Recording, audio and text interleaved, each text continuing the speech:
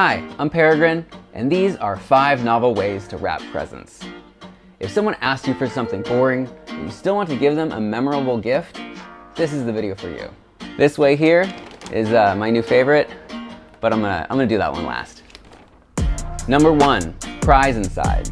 Let's say you're getting someone three pairs of socks. Rather than wrapping the socks together in a single package, go to the grocery store and buy six different grocery items. Open each one and bury a single saran wrap sock near the bottom of it. For added wow factor, take a tiny bit of super glue and carefully reseal each item so it'll open like new. Then write prize inside on each one. Wrap them up and you're all done. Enjoy the rising confusion and hilarity as they dig through each item, trying to find their gift. No way! Let me know when you see a prize. Yes, amazing. Oh, uh, I see a prize. oh no. Oh no. Hey, there's a prize inside. No way. Number two, the ribbon monologue. E-gift cards are a 10 out of 10 for convenience, but a negative 500 out of 10 for unwrapping experience. Here's how you can change that. Make a stiff cardboard back placard that announces the e-gift card they're receiving. Now write an absurd monologue or series of pun-filled jokes, more groan-worthy the better, that hint at what their gift is. Now, painstakingly copy that monologue onto an entire ribbon using a marker. Then, starting with where the story ended, wrap that ribbon around the placard until the whole thing is covered. I love the way these look. Make sure the beginning of the ribbon story sticks out invitingly for them to begin their reading and unwrapping adventure. You wrote this? Yeah. Here are some fun salmon facts.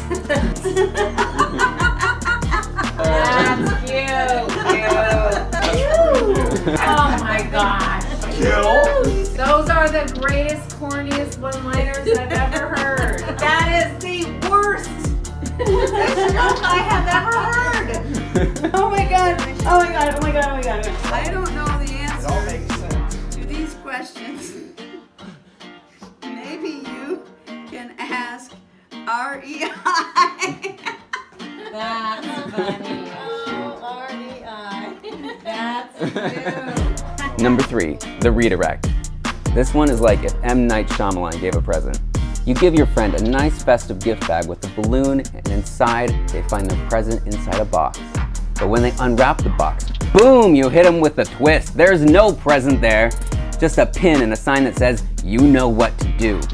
Turns out, the present was inside the balloon the whole time, and they have to use the pin to pop the balloon to get your gift.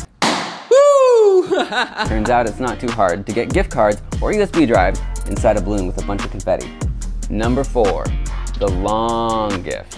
Gifting someone multiple neckties or belts, don't diminish their longness by coiling them up in a box. Embrace their longitude, attach them end to end and wrap the whole thing to create the world's longest present. Enjoy as they have to unwrap a room-length present in front of everyone. Number five, the disguise. So you really want to make sure your friend won't have a clue what their gift is? No problem. Just construct the skeleton of another random object out of cardboard and hot glue. Sounds time consuming? It is, but it is worth it. Then you take their present and you hide it inside. Wrap the whole thing up and you guarantee complete confusion and laughter when you bring it out for them. This is actually what I'm doing for my partner for Christmas this year. Um, I'm pretty excited. I'm gonna post a reaction on Twitter, so if you wanna see it, subtle hint to follow my Twitter. Anyway, that's the video. I hope you liked it. I hope it inspired you in some way. I love comments, so please leave a comment with which one your favorite was, and if you have any other creative ways of presenting presents to people. I would love to see them, and I would love to read them and reply to them. That's it for this video.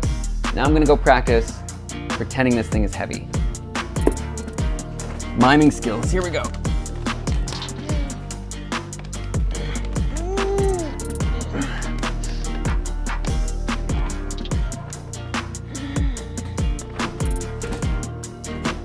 I'm this is awesome. It's so trippy.